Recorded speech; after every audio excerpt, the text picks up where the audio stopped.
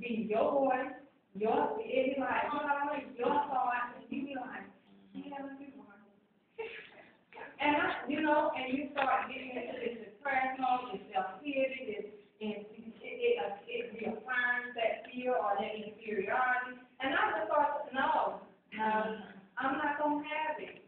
But, you know, I'm a, I'm a speak well of myself. And I'm not being powerful, but I'm receiving what God says about me, you know. So, don't allow the enemy to speak negatively to you or about you.